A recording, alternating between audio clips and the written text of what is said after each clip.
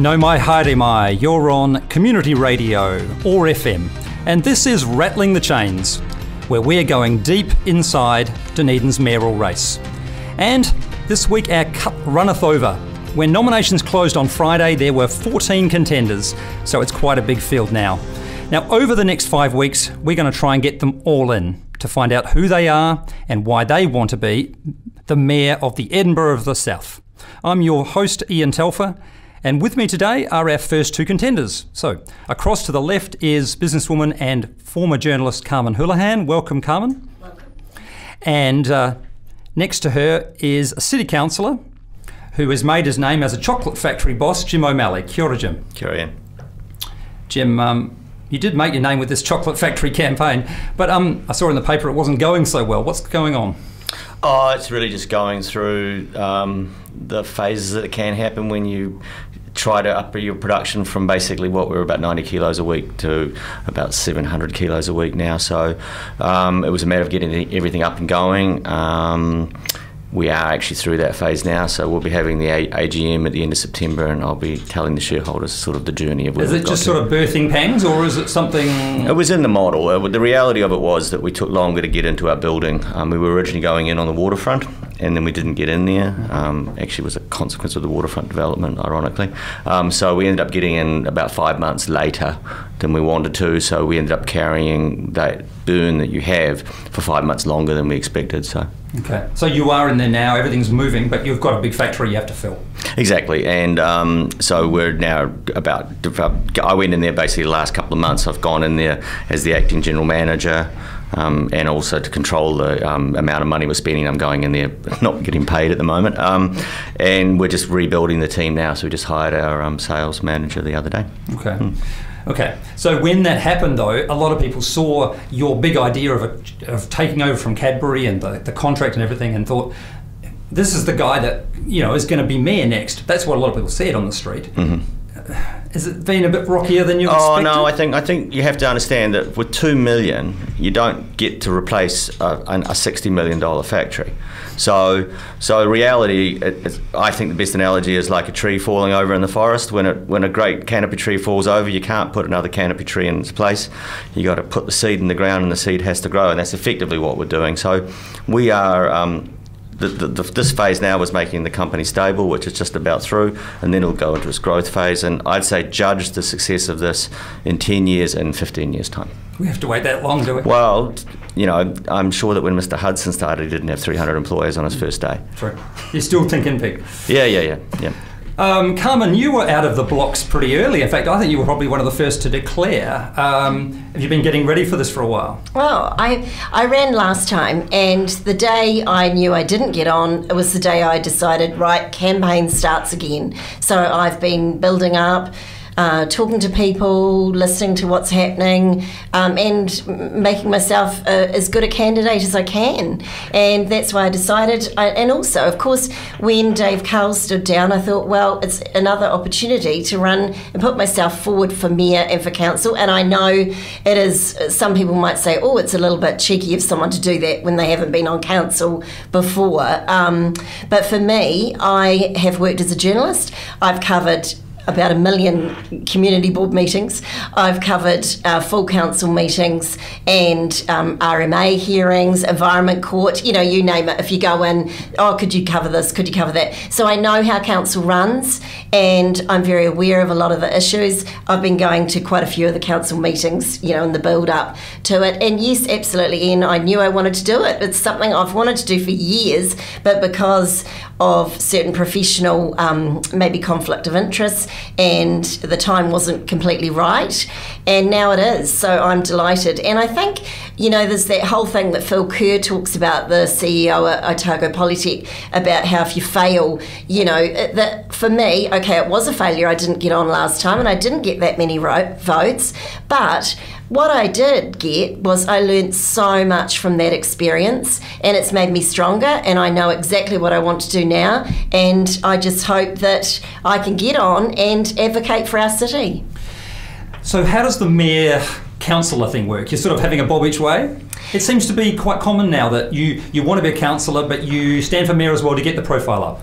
Well, I'm running for mayor and for council for several reasons. Um, Jim did it as well last time. He wasn't on council and, and ran. So did Rachel Outer, so did Conrad Stedman, and they all got on council. But I'm also running, I'm taking it very seriously. I don't think it's something you can muck around with. Um, I, I actually do think I've got the skills to be mayor, even though, of course, I haven't, you know, haven't been on council. As I said, I have a lot of that background, knowing council. I also am a member of the Institute of Directors. So the, the role of a mayor is a governance role. It's like you're the board chair. And in that role, um, you sit there and work out, hopefully, you know, if I was privileged enough to become mayor, obviously it would be a big learning curve, but I would be up to that challenge and enjoy it. Do you even want to be mayor though, or do you really want to get onto council? And I ask this because there seems to be. Uh, we've got 14 candidates. I mean, it's hard for the public to choose, and it feels a bit like it's full of people who actually want to be on council. Oh, absolutely. Um, uh, look, I would, I would love to be mayor, um, but um, I also, uh, you know, if that doesn't happen, I definitely want to be on council. So you're serious about the mayor thing. It's I'm not just serious. I'm taking box. the campaign really seriously. So I think that's you've got to take it seriously if you put your name forward. And and I think I've got the skills. If you look, I mean, I've got a master's in entrepreneurial business. I've worked in business. I've managed budgets. I've managed staff. Um, and and I'm taking as far as you know. I think you have to you have to take it seriously, and that's what I'm doing. I don't think we should muck people around. All right.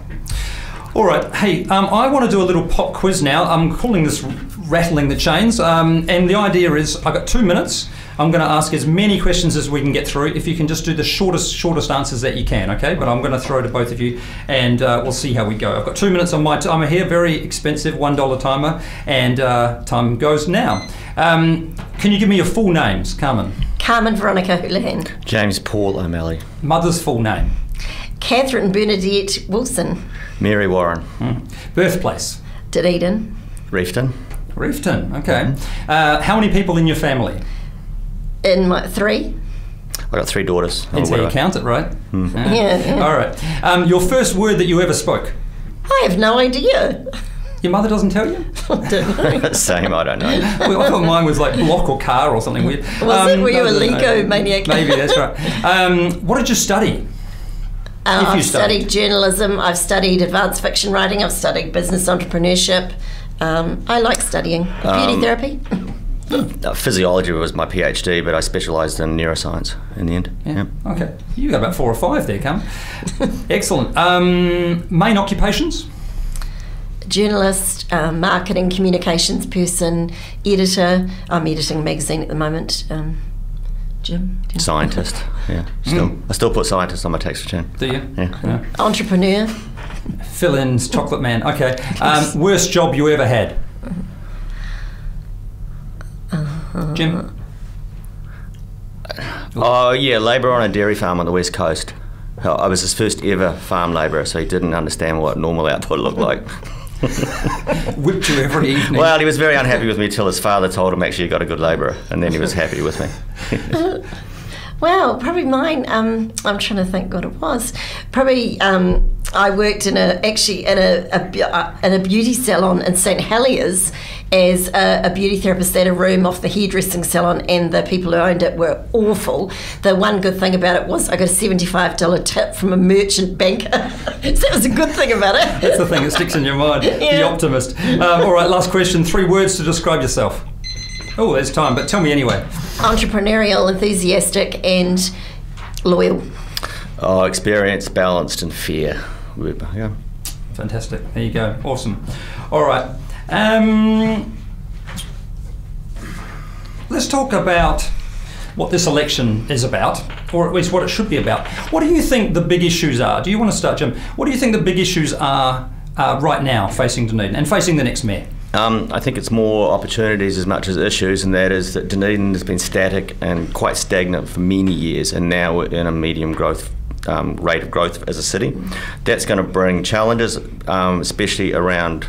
You know, I sit on um, the regional transport committee and I see where our transport's going. We're going to have wicked trouble if we don't improve public transport in the future. So we've got whole things around livability where transport sits in.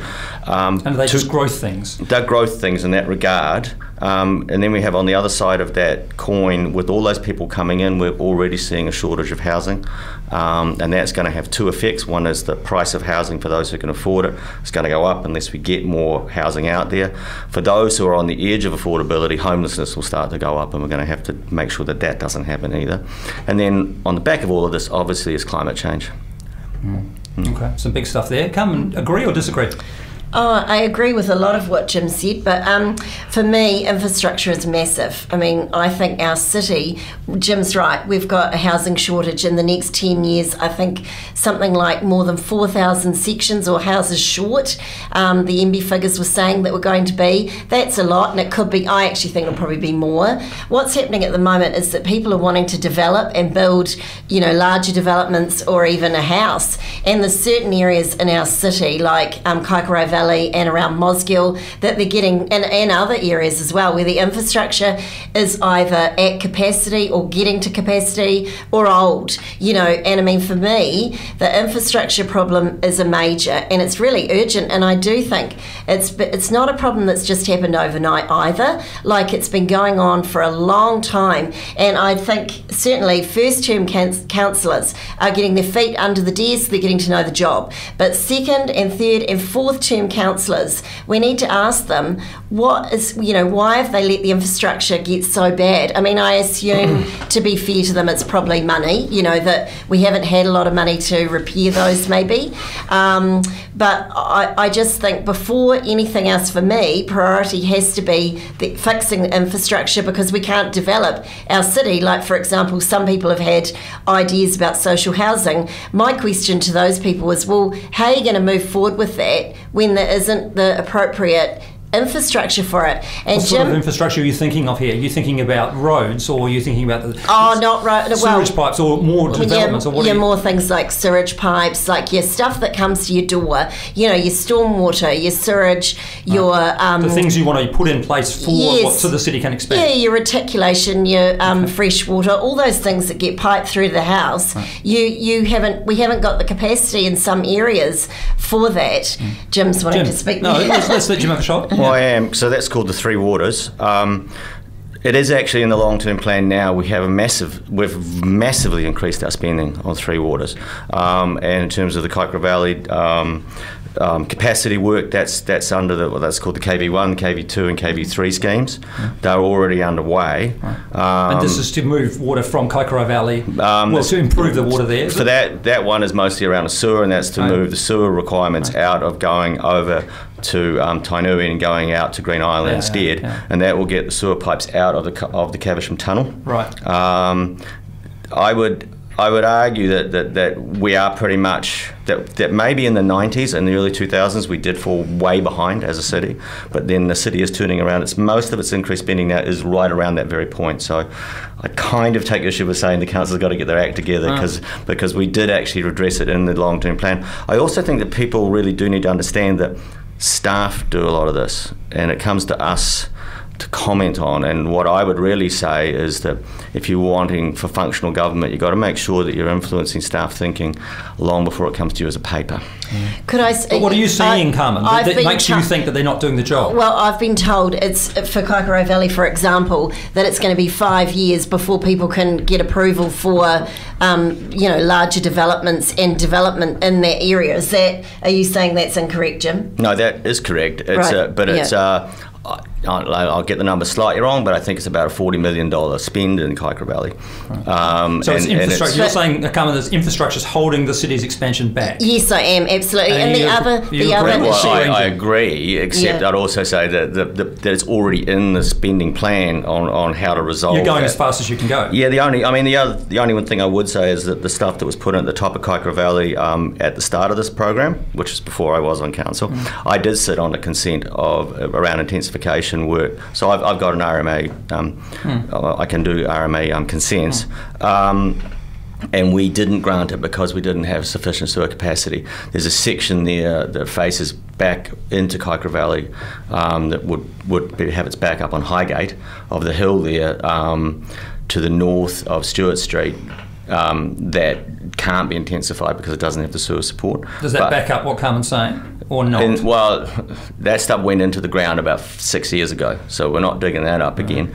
Um, the rest of the capacity further down the valley is to take more, is to, is to take what's described in the district plan. So the issue really is again when the district plan's coming up for consultation with people consulting at the time. I have a tendency to say think that what people do is they forget that these really important documents are coming in front of them, like the district plan, like the long-term plan. Nobody consults, and then Yeah, could it I doesn't say something on that with Come. the plan? My understanding is with the because when we started, like Jim mentioned it before, that now we're medium density. When we started the plan, we were low density Mm. and categorised, you know, as a reasonably lower population. What that has implications on the 2GP because when they've written it, they've initially written it for the smaller population. Now I believe, and correct me if I'm wrong, Jim, but that they um, now there's quite an urgency for us to have suitable land um, for residential. So that's not just the infrastructure as well, it's the land as well. That's and so they would be my priorities, and I'm really concerned. What would you do though? I mean, obviously everyone's acknowledging there's a there's a housing squeeze on in Yeah. Dunedin. I mean, it's not Yeah. just in Dunedin either, right? But we have we're feeling it now. Mm-hmm. What would you do as mayor?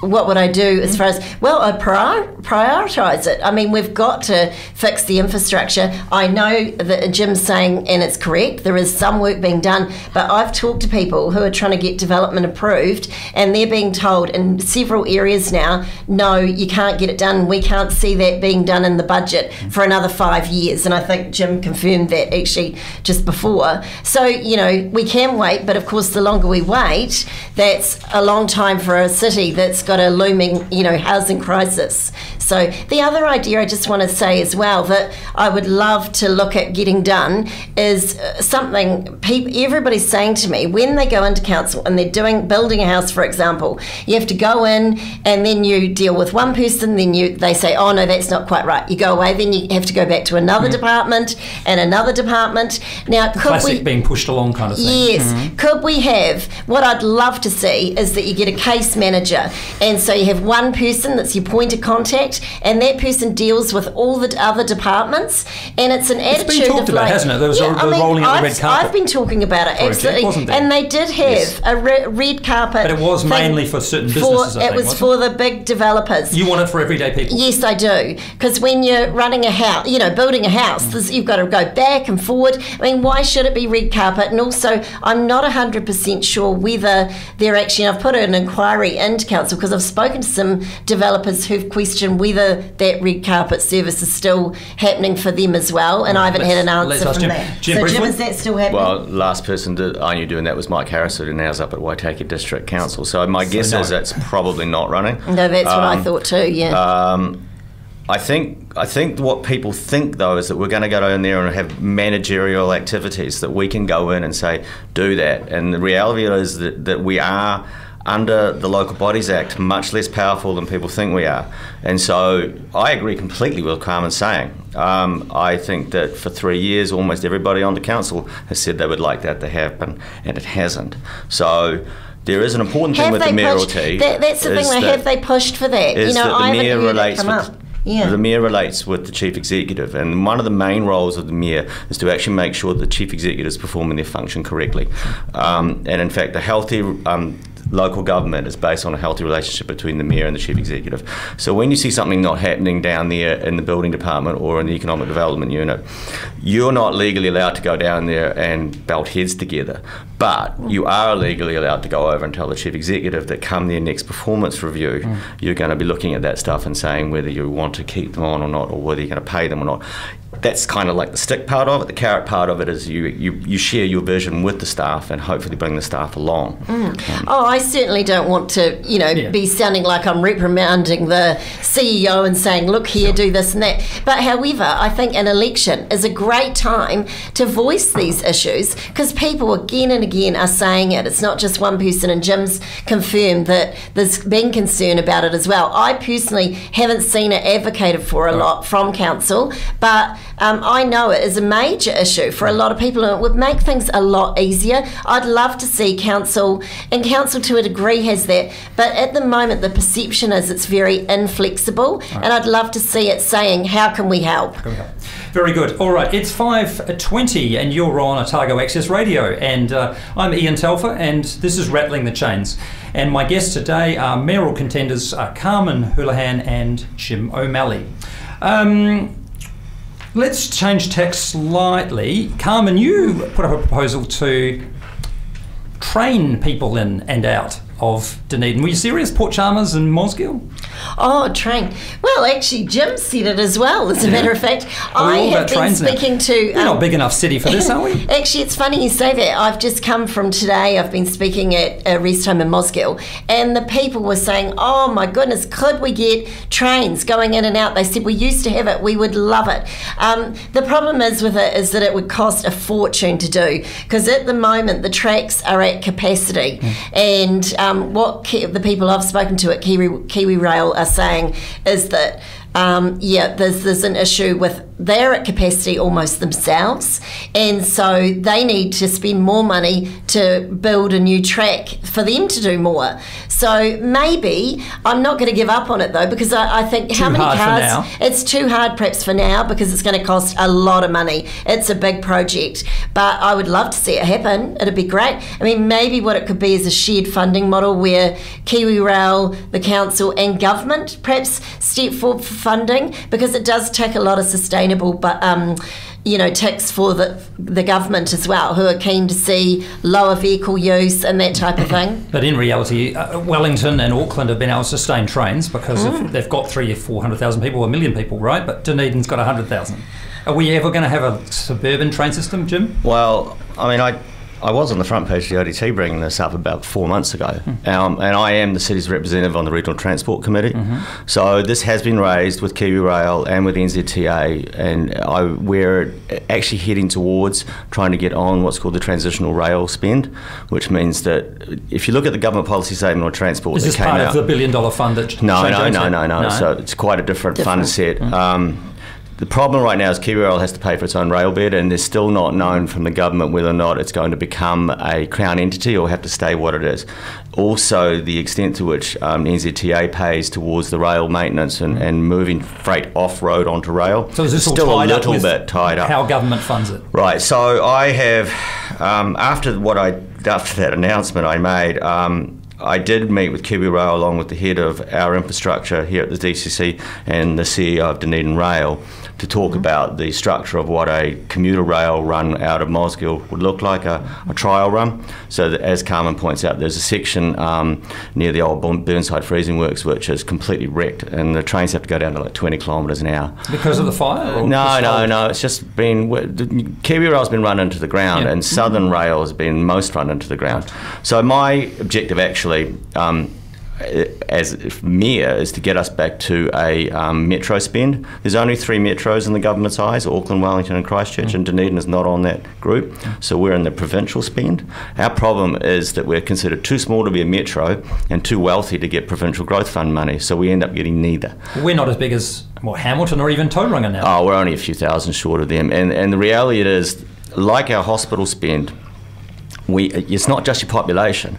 We have one of the biggest export, export ports in the country. So you can't just look at your country's, uh, the city's population. You look at the freight movements. So the southern freight line is one of the busiest freight lines in the country. Mm. Um, the problem we run into with commuter rail out to Mosgiel is it's only electronically signalled as far as Wingatui.